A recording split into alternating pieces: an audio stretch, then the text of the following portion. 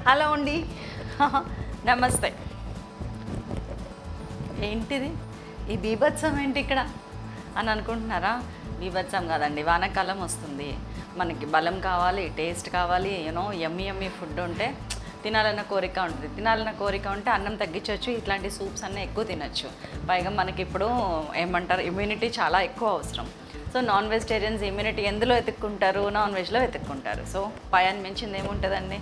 అందుకే వచ్చేసాం. జస్ట్ వానాకాలం మనం ఎంటర్ అవుతున్నాం నేను తీసుకొని వచ్చేసాను. సో మీరు మీరు ఇంక నుంచి లాక్ చేసి పెట్టుకోండి. ఆల్మోస్ట్ వీక్లీ ట్వైస్ అయినా కానీ నైట్ టైము పాయా తీసుకోండి. Super tasty super yummy and super satisfied food. Stomach full తినద్దు. కొంచెం గ్యాప్ ఇద్దాము. ఎక్కువ కర్రీ ఎక్కువ మూలగా. తక్కువ అన్నం. చపాతి పూరి పరోటా పుల్కా ఎందులోకైనా బాగుంటుంది పాయా. పెద్దవాళ్ళు ఎవరైనా ఉంటే కూడా మంచిగా ఇది సూప్ ఇస్తే కనుక అటు గొంతు క్లియర్ అవుతుంది ఇటు స్టమక్ ఫుల్ అవుతుంది ఇటు మనసు ఖుషి అవుతుంది అండ్ అన్ని విధాలా మన టేస్ట్ బడ్స్ అన్నిటిని సాటిస్ఫై చేస్తుంది. సో ఇవాళ సింపుల్ అండ్ స్వీట్గా పాయ ఎలా చేయాలో చూపించేస్తాను అండ్ పాయ ఎలా ఉంటుందంటే మీరు ఆ బోన్స్ నవ్వలేయచ్చు. అలా చేస్తాను. చూద్దాం. రండి. సో మనం జల్దీ జల్దీ ప్రాసెస్లోకి వెళ్ళిపోదామా?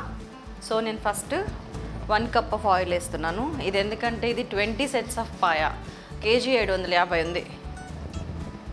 One cup oil. ఇది నాకు తెలిసి ఒక సెవెన్ ఎయిట్ టేబుల్ స్పూన్స్ ఉంటుంది.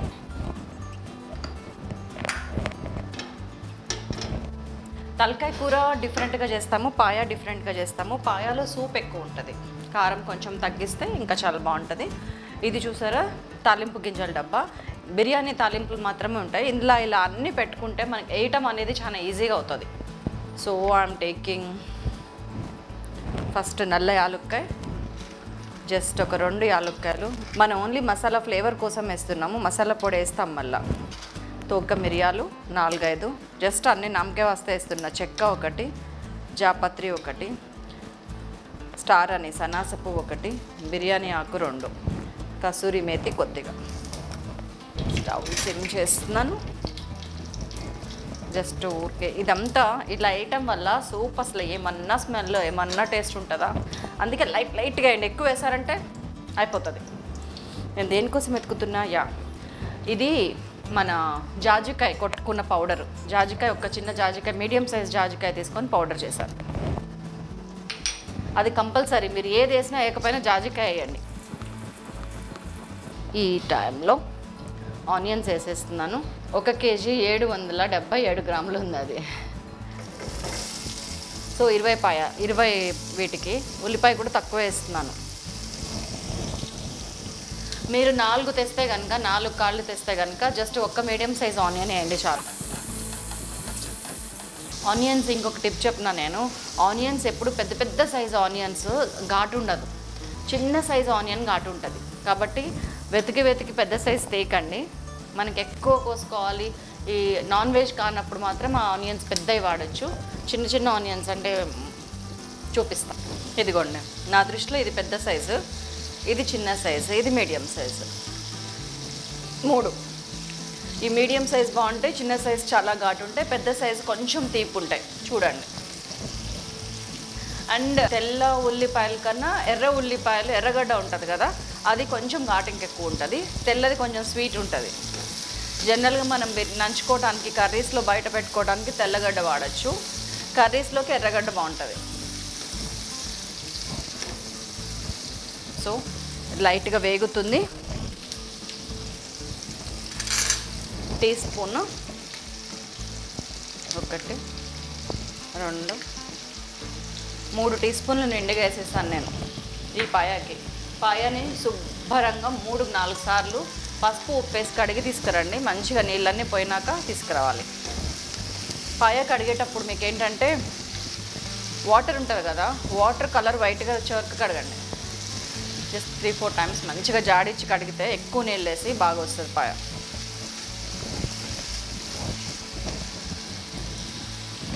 ఒక్క కట్ట మెంతి కూర వేస్తున్నాను. మొక్క కూర. జస్ట్ కొంచెం కరివేపాకు. మనము తలకాయలో లాస్ట్కి చాలామంది అదేస్తారు దాన్ని ఏమంటారు చింతపులుసు వేస్తారు. నేను ఎందుకో వేయను.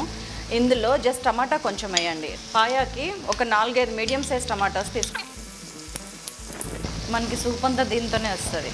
ఉల్లిపాయ మసాలా ఇది ఉప్పు కారం పసుపు ధనియాల జీలకర్ర పొడి. సో ఈ టైంలో మనం ఉప్పు పసుపు అన్నీ వేసేసుకుందాం.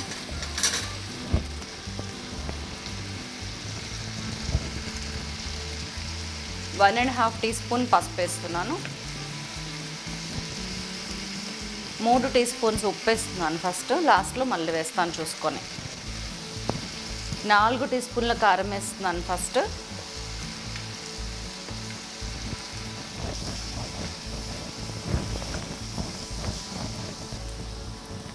మనం ఇందాక మిరియాలు వేసినట్లేం కదా ఈ డబ్బాలో ఉంది మిరియాలు నాకు కనిపించలా కొంచెం మిరియాలు వేస్తున్నా. మీరు స్టార్టింగ్లో వేసేయండి. సో ఒక టూ మినిట్స్ మగరిద్దాం.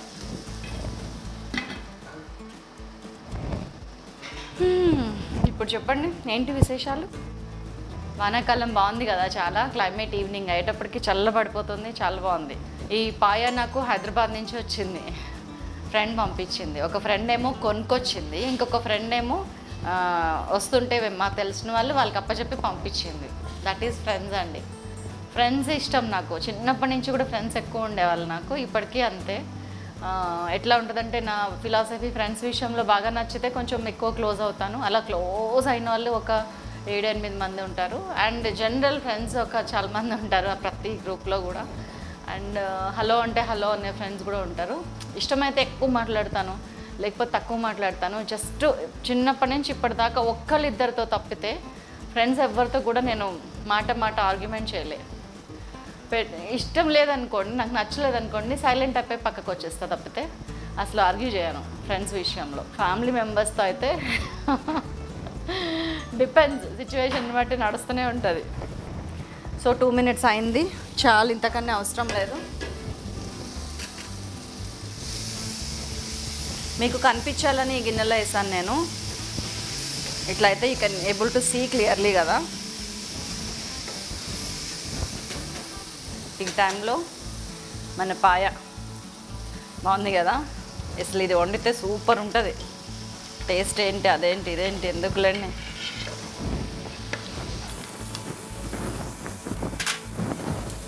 ఇప్పుడు దీన్ని చక్కగా ఉప్పు పసుపు మనం వేసిన అన్నీ పట్టేటట్టు కలుపుతున్నాం. కలర్ చూసారు ఎంత బాగా వచ్చిందో?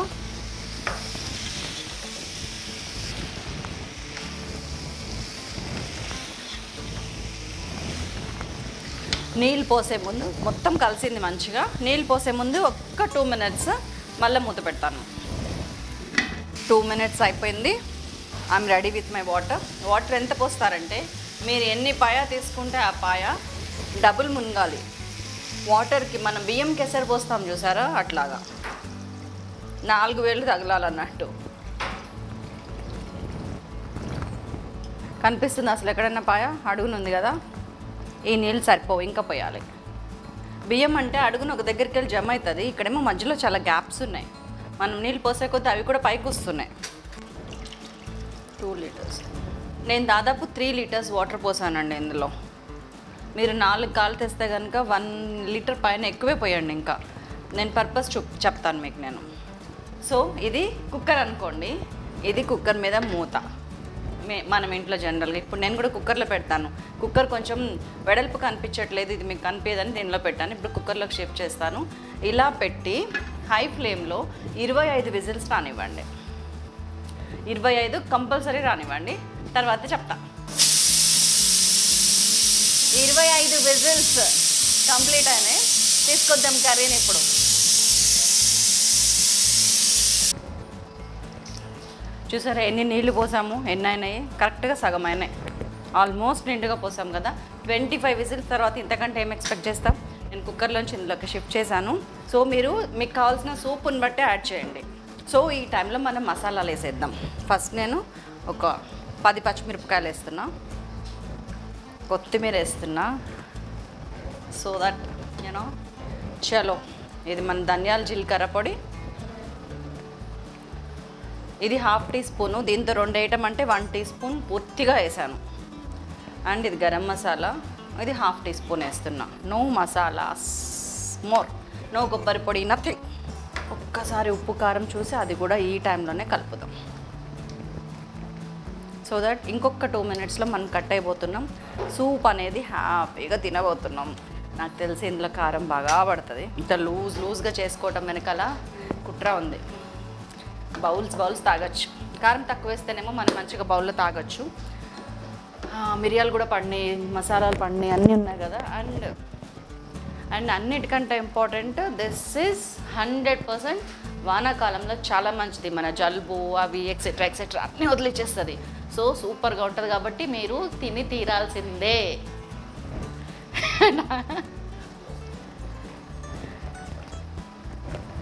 ఉప్పు చూస్తానని చెప్పాను కదా.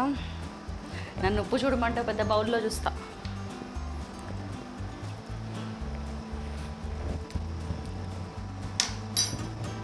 ఉప్పు కారం అన్నీ పడతాయి నా దృష్టిలో.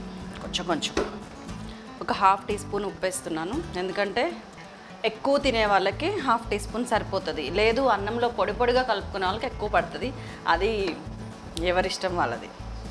అండ్ కారం వేస్తున్నాను. ఇంకొక టూ టీ స్పూన్స్. ఫస్ట్ మూడు వేసాను ఇప్పుడు రెండు వేసాను మీరు గుర్తుంచుకోవాలి అధ్యక్ష. కలర్ ఎలా ఉంది? నాకైతే పిచ్చి పిచ్చిగా నచ్చింది. మామూలుగా సూప్ ఎలా ఉంటుందో అలా ఉంది. ఇప్పుడు ఇందులోకి ఎలా తినాలో తెలుసా? నేనైతే ఎలా తింటానో తెలుసా? మనం రసం ఎట్లా వేసుకుంటాం? లూజ్గా అట్లా వేసుకుంటాను నేను. మరి మీ సంగతి నాకు తెలీదు. కానీ ఇలా యాజ్ ఇట్ ఈస్గా చేస్తే మాత్రం ఒక్కసారి ఊరికే ఇది సైలాస్ టేస్ట్ అని చెప్పి ఒక్కసారి మీరు తిని చూడండి దెన్ యూల్ అండర్స్టాండ్ మసాలాస్ ఇప్పుడే వేసినాం కాబట్టి టూ మినిట్స్ చాలు. ఉడుకుతూ ఉంది ఉడుకుతూ ఉంది ఉడుకుతూ ఉంది కుత కుత కుత కుత. స్మెల్ అయితే మా సందు చివరి దాకా వస్తుందేమో. వాన పడుతుంది బయట. నేను ఏ క్షణాన్ని ఇది పొయ్యి మీద వేసాను వాన స్టార్ట్ అయింది. చూడండి వరుణ దేవుడికి కూడా ఎంత కరుణ కటాక్షాలు ఉన్నాయి నా మీద. ఇది నేను ఎంజాయ్ చేయాలని కట్టేస్తున్నా. అయిపోయింది అయిపోయింది అయిపోయింది అయిపోయింది. వచ్చి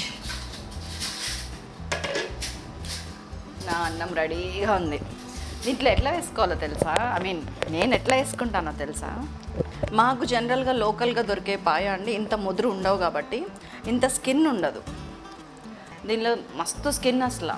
చాలా టేస్టీగా స్కిన్ అండ్ బోన్స్ కూడా చాలా సూపర్ టేస్టీ ఉంటాయి. అంటే దాని చుట్టూ ఏమంటారు ఫ్లెష్ ఉంటుంది కదా దాని క్వాంటిటీ ఎక్కువ ఉంటుంది. అందుకే నాకు హైదరాబాద్ నుంచి పంపించారు వాళ్ళు. ఇలా తీసుకోవాలి.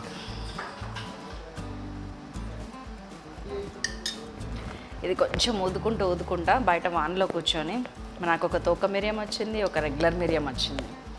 ఇంత ఘాటు ఉంది ఎంత బాగుంటుంది చూడండి. పచ్చిమిర్చి ఇందాకనే వేసినాం. ఈ పచ్చిమిర్చి ముద్దలో పాటు కలుపుకొని తింటే నాకు నీళ్ళు వచ్చి మాట రావట్లేదు. కర్మరా దేవుడా. టేస్ట్ చూడనా?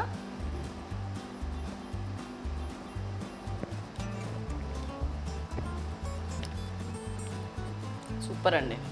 సూపర్ అంటే సూపర్ అంతే. మాట్లాడుకోవటాలు లేవు. చేసుడే సో చేసేయండి వెంటనే చూస్తూనే ఉండండి. మరిన్ని రెసిపీస్తో మళ్ళీ మళ్ళీ కలుస్తుంటా. అంతవరకు సెలవు. నమస్కారం. Thank you